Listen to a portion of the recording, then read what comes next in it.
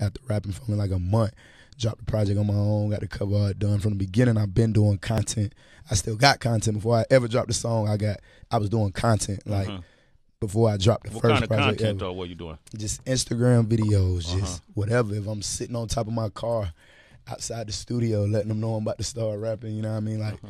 shit like that. I still got it. You know what I mean? I'm about to put it I'm about to put it together and, and put it out there. You know what I mean? But just nonstop content. I would go to the club, slide the DJ some money, have him play the song, had a cameraman record and record me in the DJ booth. Mm-hmm. Record me, you know what I mean, throwing a little money in, uh, to the strippers with my song playing. You get what I'm saying? I put it on Instagram Mm-hmm. with the name of the song. I just nonstop, nonstop content from day one. You know what I mean? And, um, and it just turned into what it turned into. I started moving around, uh, nonstop promo, posters, stickers, T-shirts. Mm-hmm. Me and 20, 30 people with the T-shirt with my logo on it everywhere we went. You know what I mean? Wow. All over the place traveling. Stunt, you were there at this time too? No, no, no. I hadn't Okay. even I hadn't even met LeBron Okay, yet. And then okay. I, I got with um I got with Arnold Taylor at the probably I was probably like what a year and a half, two years in when I got with you, bro.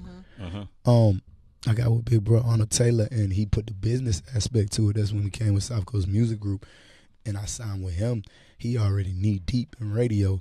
He started running me around with radio. I started establishing relationships with a lot of radio stations when I was still at like seven thousand followers or something like that. So a lot of these people that I swing back around and see, like I met them before. Like when my record went number one with Suge Number One, I knew everybody. You like knew radio room. Yeah, Yeah. I knew. I've been to. I had seen them like four times. You know what I mean? And, um, but yeah, I just started establishing relationships and uh, with, with the right people, and and I just continued to do what I do, like on the street side, as far as just guerrilla promos, just Mhm. everywhere. Like I'm hopping out everywhere. I still got CDs. You get. What I'm, swear I put a diaper on. You get what I'm saying? re- My I man, remember baby, that. Yeah, yeah, put a yeah. di- Like Put I a don't diaper play on. like that. We like remember I'm, you know, that. I'm gonna get through there. You get what I'm saying? So it's like I'm gonna get through to you. Like it's been that way from the beginning. Wow. Like and with him, with the business side to it, like we it's just it's just unstoppable. You get what I'm saying? He he lining the chips up this way. I'm smacking them this way. We boom, boom, Mm. boom, boom, boom, boom. You know what I mean? Everything we do, and we just stay consistent with it.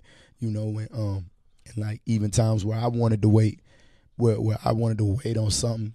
If if I'm moving too slow on something, he gonna press the button. Fuck Mhm. it, I gotta get mad at him. Mm. He wait, he move. I feel like he hesitating on something. It's time to go. I'm gonna press. I'm putting it out anyway. Fuck it. Mhm. He got he got to be mad at me. You know what I mean? And then we, you know, when we we we that's how we rock. You know what I mean? And we got on that same frequency though. It was over with, and um ended up doing the joint venture deal. The baby explains his independent artist marketing strategy. Tools is here, blueprints here. You heard this nigga. He put a goddamn diaper on. Grown ass man on stage with some depends, nigga. How bad you want this shit? I ain't putting no motherfucking diaper on. I ain't putting no duck costume on either. But there's gonna be some black ducks floating through y'all city at one point. Please believe that. I was about to say bitch, but I don't think that's necessary. Y'all probably watching this at like 11 a.m. Don't nobody wanna wake up be called no bitch, man.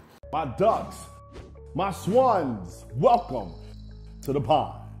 My name is Dorian from Group82Music.com. Right here, we got DaBaby talking about his independent artist marketing strategy. You gotta want this shit. Is what it comes down to, period. Ain't gonna be too much application and strategy in this video. It's gonna be straight motivation. Nigga, you gotta want this shit. And whatever it is you gotta do, you gotta do it. You gotta figure out what aligns with your brand, what aligns with your morals, what aligns with your integrity, and you gotta go after it. This man was not gonna take no for an answer. He putting up stickers, he going to radio stations, he putting up posters, they getting t-shirts printed, everybody wearing them. He on stage doing shows everywhere. He wearing a diaper, he doing all this stuff. And to us, it seems like he came out of nowhere. We just started hearing him on every single track. He blew up, now he's had a bunch of number one records. But it's not like that. You gotta grind. You gotta hustle. You gotta be on this. Some of y'all don't wanna hustle. You don't wanna grind. You say you do. Now, how much content are you putting out? You ain't gotta go put a diaper on. You ain't gotta go get no stickers. But how much content are you putting out? As I ask you again, how many videos have you posted this week? How many fans have you engaged with? How many of them have you went through that liked your photos or liked your videos and you went and made a comment on their page? How many ads are you running, Facebook and Instagram ads? What are you doing to bring attention to yourself that aligns with your morals and your integrity? The competition that we're doing right now, it ain't bars, it ain't the sounds the music, it ain't the beats, it ain't none of that. Y'all get caught up in all that shit. It ain't that. It ain't even the money.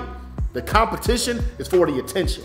What are you doing to maintain your attention from your audience? DaBaby? He figured out what he wanted to do. He figured out how to get his attention on his audience, rap a little bit different, wear the diaper, do all this stuff. Boom. Now he's out of here. I post videos every single day about the music business. My ducks, my swans, welcome to the pod. Got the true support campaign going. I get y'all attention every single day. What are you doing? What are you doing? I'll give you the playbook. We post all these artists giving you the playbook. Why ain't you applying it?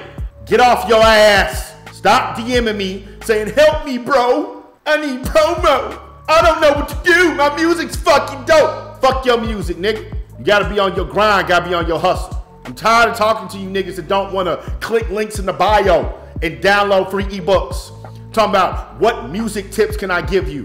Nigga, I give music tips every day on my social media. Every day. And you DM me asking me for more tips. I'm tired of it. Where the serious artists at? Stand up. Write in the comment section. Where y'all at? I'm ready to work with the serious artists. I'm tired of you bozos. Homie the clown ass niggas. I'm tired of it. Where the serious artists at? If you a serious artist, write in the comments, duck, I'm a serious artist. And we can start doing some shit. If you for real serious, you for real about that business, click that link in the bio. We got services that's gonna take you to the next level today. You can get a $9.99 Spotify players placement. That's regularly 250 bucks. It's permanent. Link is in the bio. Free ebook. Link is in the bio. You serious? Click that link in the bio. I'm out pod. Y'all stay true. Whether Young Jeezy, Christopher B, a little Weezy, D.R.E., D.O.G. Group82music.com.